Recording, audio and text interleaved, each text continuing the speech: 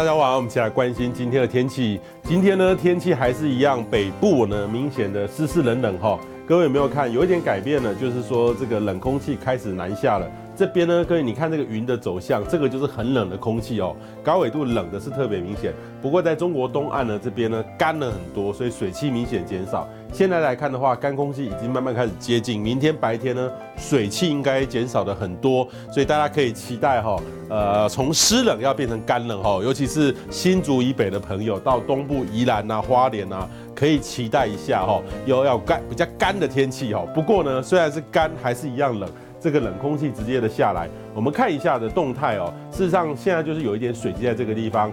呃，预计呢，这个越晚哈，这个水汽散得越快，新的一波冷的干冷的空气就开始下来了。所以只有剩下迎风面有些短暂阵雨而已。那预计呢，这个会持续几天的时间，到礼拜五。礼拜五之后就会慢慢的缓回温。你看这个高压的动态就开始有点变了。这基本上是一个高压，从这个地方偏北风移下来，然后慢慢东移。所以礼礼拜六、礼拜天呢是相对的回温的时候，哦，高压就在这个地方回温的时候。但是是这个时候回温呢，回不去了哦，回不到很温暖的天气，还是冬天的回温。然后到了礼拜天又有一波这个冷高压又会再下来，要注意一下。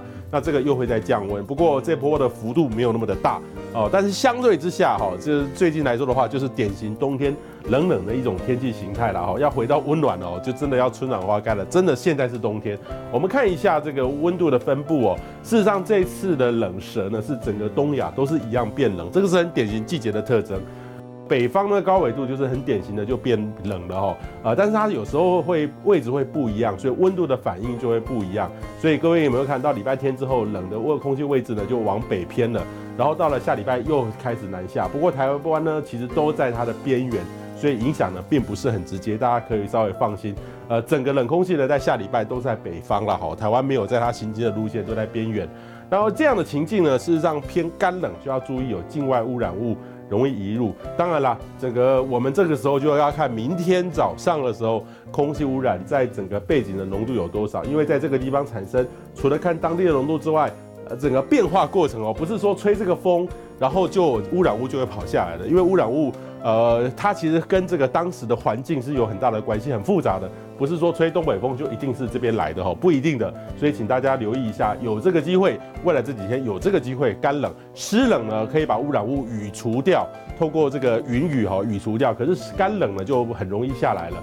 那这两天呢，其实在北部呢还是云量比较多，预计礼拜三四云量比较多，但是少很多了，所以整个北部很多地方。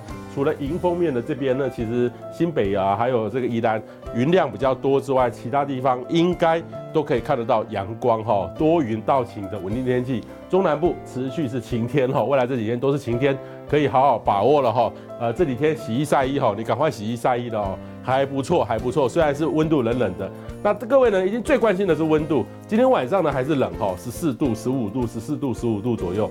入夜的时候还是要留意一下。东半部呢也是一样，比较湿湿一点点。然后预计呢这个温度呢，在明天来说的话，会回温哈，就有点不一样，十四到十七度。明天呢云量会减少，下雨情况会缓解，所以明天呢有机会是见到阳光的哈，请大家好好珍惜，可以见到阳光，那大家真的可以换一下。衣服穿着会有点不一样哦，早晚还是冷，可是白天哦，十七、十七、二十二、十一、二十二，比较温暖一点点的，请大家可以期待一下下。东半部呢上升没那么多哈，比较湿凉一点点，就是迎风面的位置啦哈。这个就是礼拜三的天气有一点改变了哈，干从这种湿冷哈，这两天的湿冷，北部的朋友湿冷变得干冷，那这两天的温度呢要稍微注意一下。低温呢还是有机会拉到十三、十四度左右，甚至不排除低温呢可能会往下拉。这个就看明天的这个云量哈。现在来看的话，云量可能比较多，所以它就没有拉到更低了哈。这个其实有时候我们会用一个范围哈，这个呃辐射冷却是很难去预测抓得到的哈。所以我们用一个十二、十三度的这个温度来看未来这两天的温度。那预计呢到礼拜天，各位有没有看十五到十九度，相对的舒服很多。十四到二十二度有温差的哈。前几天基本上像礼拜二、礼拜三都没有什么温差，今天都没有什么温差的，将会有温差。可以期待的。南部呢，其实相对之下是有温差的，十三到二十四度。各位有没有看到？这个就是变化很大了。这穿着呢，你就要很不一样的穿法了哈。到了周末的时候，应该会稍微回温一点点，所以请大家可以期待最近的天气。我们刚才建议，周三下半天冷空气南下，比较干冷的空气，水汽减少，湿冷转干冷。然后周四清晨呢，空旷地区就仅为十一度左右哦，要留意一下空旷地区的低温。冷到周五，然后周六就开始逐渐的回暖当中了。